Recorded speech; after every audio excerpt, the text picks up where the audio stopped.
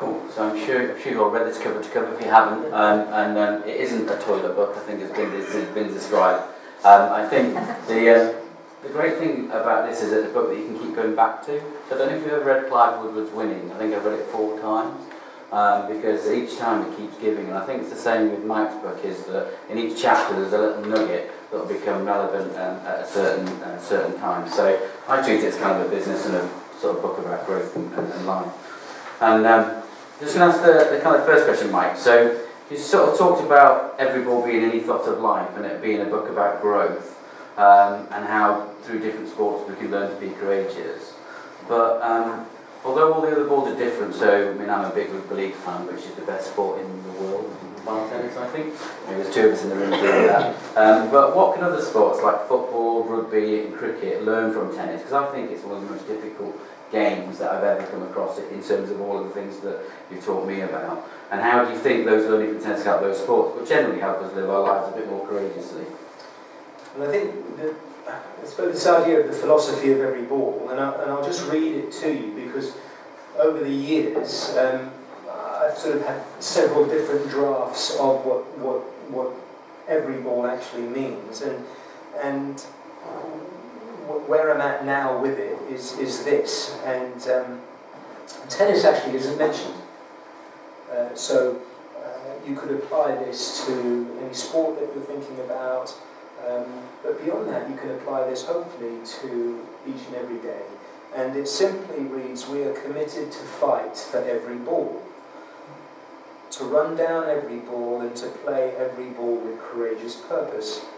We see every ball as an opportunity to explore our becoming selves, our curiosity and creativity.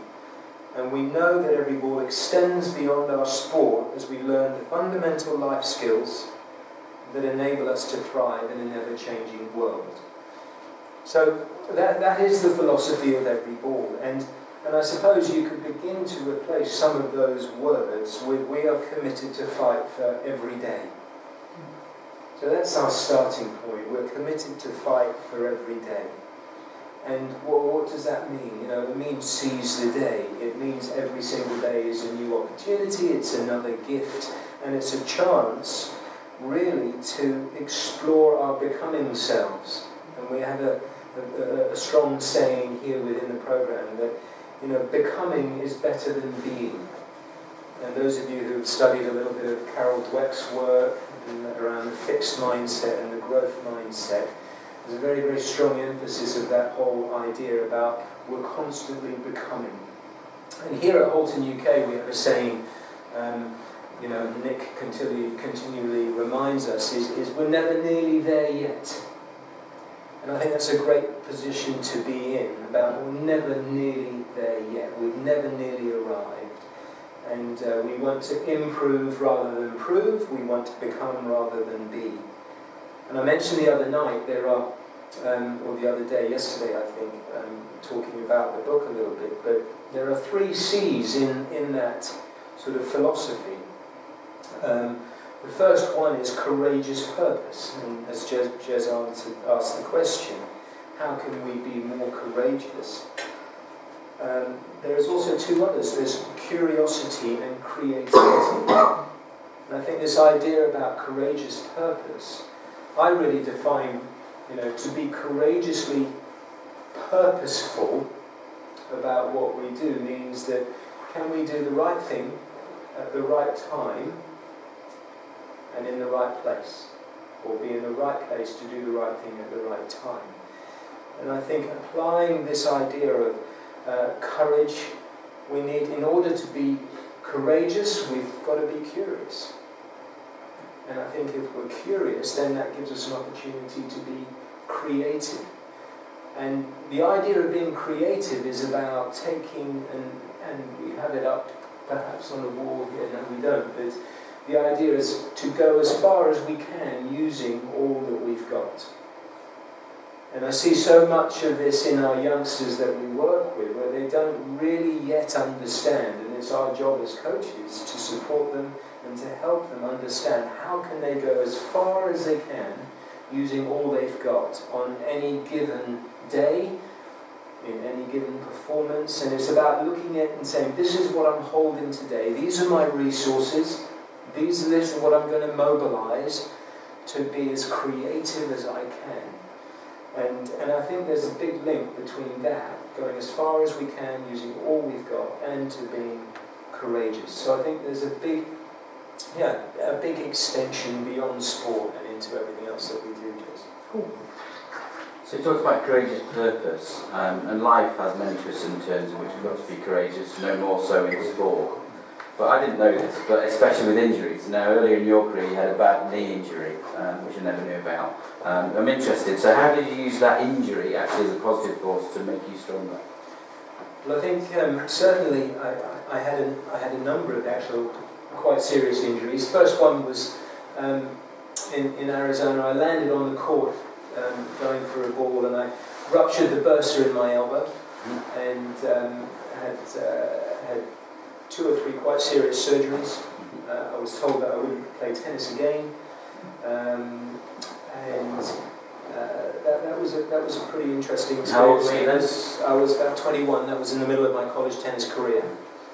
Um, but uh, yeah, so six weeks, six weeks, six months, uh, six months later, after a lot of rehab and hard work, I managed to get back onto the tennis court um, and uh, actually finished my sort of strongest season as a, as a college, college tennis player in the States.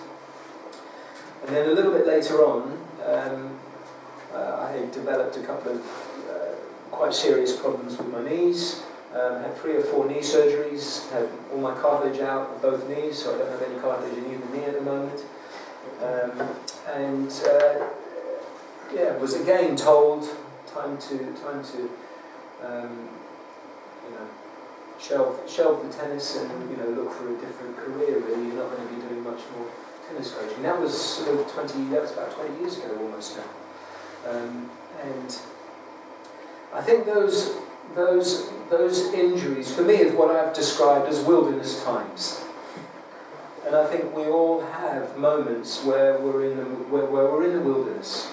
And those might be within our own personal lives, they might be professionally, uh, they might be within our own sport. And um, I, was, I was reminded, um, you know, many years ago of, uh, of, of, a guy who um, who had quite an impact actually on world history. And funnily enough, uh, he, was, he was Paul the Apostle. And um, one of the things that he is quoted in, uh, quoted as saying, is that suffering produces perseverance, perseverance produces character, and character produces hope. And that sort of succession of things, I think, I, I was really, really fascinated by. You know, and, and, and he goes on to say, therefore, we should, we should seek joy in our suffering. Right? Because we're going through that process of the refiner's, going through the refiner's fire, so to speak. So if I'm suffering in any, in any way, shape, or form, and we talk a lot to the kids about, on, when, I, when I refer to the kids, I'm referring to the youngsters that we're, we're working with on the tennis court, about are they prepared to suffer on the court? Because as they suffer, they're developing perseverance, and in that perseverance, character. And uh, funnily enough, I was having a, a, good chat with John the other day about, you know, we, we, we all talk about this idea that sport develops character, but it also reveals character. And I think those two things happen hand in hand, that actually my character is being revealed through my sport, through suffering, through difficulty. And it's only in difficult moments that we begin to understand what type of people we are. When everything is going well and it's, it's all hunky-dory, I don't think we get a real glimpse. But when things are tough, when things are tough in sport, when things are tough off the court, off the sports field, to say personal life, business life, whatever it is, um, that's when character is revealed and developed and in that sort of perseverance, um, ultimately is where we actually gain hope. And, and, and for me, hope is a kind of